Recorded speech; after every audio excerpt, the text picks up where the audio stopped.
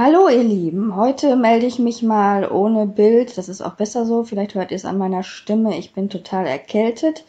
Ich wollte euch jetzt trotzdem mal ein Tutorial aufnehmen. Und zwar habe ich mir vor kurzem die Software Sensoria oder Sensarea oder wie es auch immer ausgesprochen wird, dieses hier mit dem Pfötchen, heruntergeladen aus dem Internet, weil das eine Freeware ist, mit der man Bereiche in Filmen verpixeln kann.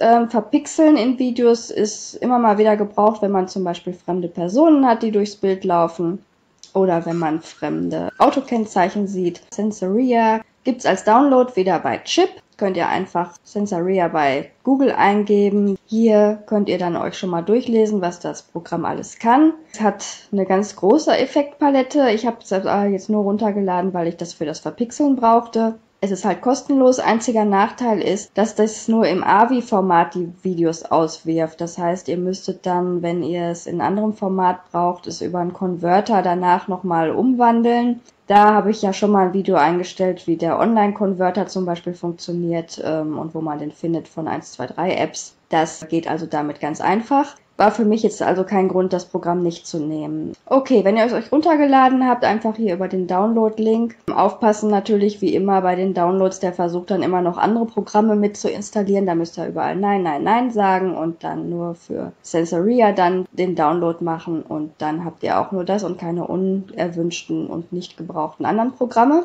So, und wenn ihr es downgeloadet habt, dann habt ihr auch hier so ein schönes Pfötchen auf eurem Desktop. Da dann einfach mit normal Linksklick draufklicken und dann öffnet sich hier Sensoria. Ich mache es mal groß. Blöd ist, dass man es nicht in andere Sprachen einstellen kann. Ist natürlich jetzt nicht so leicht selbsterklärend. Ich hatte mir dazu dann ein englisches Tutorial durchgelesen, um zu wissen, wie es funktioniert. Ich ähm, mache das Ganze jetzt mal mit einem Video von mir als Beispiel wo ich euch zeige, wie man hier mit einem Gesicht verpixeln kann. Um das Video, das ihr bearbeiten wollt, zu öffnen, geht ihr auf File, Open Video und sucht dann eben auf eurer Festplatte das Video, was ihr bearbeiten wollt und öffnet es. So, das ist jetzt ein Video, da habe ich mal mit meinen Kindern ein Unboxing gemacht von so einer Snackbox und das sind die Outtakes davon. Ja, dauert anscheinend etwas, bis er das hier lädt. Ah ja, da ist es. Ich versuche jetzt mal einfach, dass ich das Gesicht meines Sohnes verpixel. Wie geht das jetzt? Um ein Gesicht zu verpixeln oder ein Kennzeichen, müsst ihr erstmal den Bereich markieren, den ihr verpixeln wollt. In dem Fall wäre das jetzt hier das Gesicht.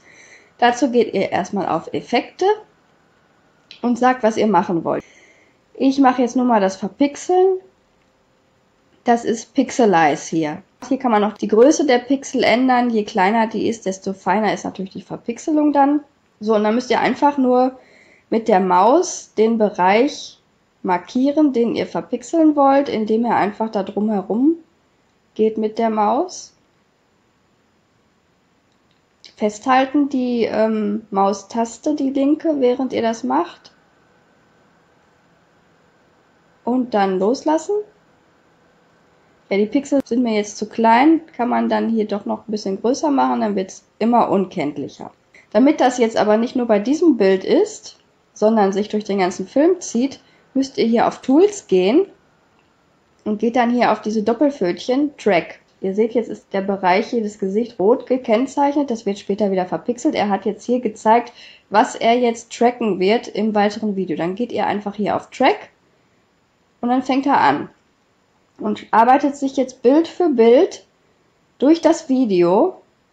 Ihr seht es hier oben. Jeder einzelne Balken steht für ein Bild im Video und ihr seht, er verfolgt das Gesicht weiter. Und irgendwann, wenn dieses Gesicht nicht mehr zu sehen ist, wird er aufhören. So, das macht er jetzt von alleine, da brauche ich jetzt gar nichts machen, außer warten, bis irgendwann ein Frame kommt, wo eben das Gesicht nicht mehr zu sehen ist. Das heißt, wenn ihr jetzt zum Beispiel nicht so ein Video hättet, sondern habt ein Video, wo ihr in einer Menschenmenge irgendjemanden habt, den ihr unkenntlich machen wollt, dann würde er dann halt so lange arbeiten, bis diese Person nicht mehr im Bild ist. Funktioniert eigentlich ganz gut, es sei denn, man hat die Kamera zu oft bewegt, zu viel hin und her geschwenkt, dann kann es passieren, dass er das Objekt verliert, wenn das zu sehr springt. So, jetzt sieht man hier, dass er zum Beispiel hier das Auge jetzt plötzlich nicht mehr dabei hat. Stop Tracking müsste ich jetzt hier erstmal wieder an den Punkt zurückgehen, wo er das Auge plötzlich offengelegt hat. Das ist ab hier. So, jetzt müsste ich hier nochmal nachzeichnen, dass er das auch weiterhin verpixeln soll. Und ab hier dann wieder neu tracken. Dann überschreibt er den Fehler, den er vorher gemacht hat. Also da so ein bisschen aufpassen, ob das immer noch so ist, wie es sein soll. Und wenn nicht, dann drückt ihr hier ganz schnell bei Track auf den roten Button. Wenn er da das nicht mehr so gekennzeichnet hat, wie ihr das wollt. Und dann könnt ihr an den Punkt zurückspringen, wo er halt die Verpixelung verloren hat und könnt es neu nachjustieren. Also ich finde es echt ein super Tool.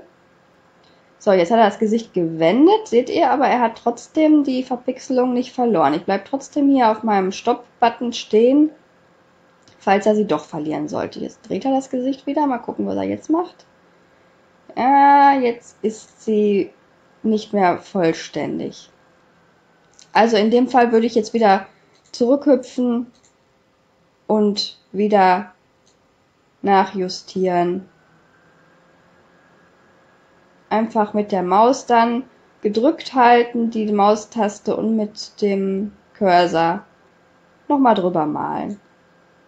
So, dann geht ihr wieder auf Track und er überschreibt die alten falsch geschriebenen und macht hier wieder neu. Ich werde das jetzt gleich unterbrechen. Und zwar jetzt, damit ihr dann hinterher seht, wie es aussieht. Wenn ich hier an den Anfang jetzt wieder springe, mal gucken, wie das Video dann jetzt aussieht. Ich habe das jetzt ohne Ton gemacht, weil ihr wollt mich ja hören und nicht das Video. Wenn ihr das Video sehen wollt, könnt ihr es euch gerne bei mir im Kanal angucken, freue ich mich natürlich. Also hier arbeitet er, ist das Bearbeitungsfeld ähm, und wenn ihr sehen wollt, wie es aussieht, müsst ihr wieder auf Effekte gehen. Ab da, wo wir das gemacht haben, guckt ihr jetzt, seht ihr, jetzt ist es verpixelt ab jetzt. Und wenn ihr dann fertig seid mit eurem Video und genug verpixelt habt, dann geht ihr auf File. Wenn ihr das als Projekt in Sensoria äh, speichern wollt, weil ihr vielleicht dann später noch nach arbeiten wollt, dann saved ihr es als Project. dann speichert er das hier auf Sensoria und ihr könnt dann diese Version, wie es hier jetzt mit den roten Balken ist und so, ähm, weiter bearbeiten. Wenn ihr es direkt als Video auswerfen wollt, müsst ihr es hier mit Export Video machen. Da werdet ihr dann nochmal gefragt. Äh, als Video ausgeworfen mit Effekten. Alle Frames okay. Und wie ihr seht, ihr könnt es dann nur als AVI speichern und speichert es euch dann einfach auf die Festplatte, wo ihr es haben wollt. Ich mache es jetzt nicht, weil ich will es ja nicht haben. Ich hoffe, das Video hat euch gefallen und geholfen. Wenn euch das Video gefallen hat, lasst mir gerne einen Daumen hoch da und ansonsten guckt gerne mal in meinen Kanal. Ich mache nicht nur Tutorials, ich habe einen Vlog und ich mache auch Comedy und alles mögliche. Ist für jeden was dabei. Schaut einfach rein, würde mich natürlich freuen, wenn ihr dran bleibt. Ich wünsche euch was und sagt bis dann. Tschüss.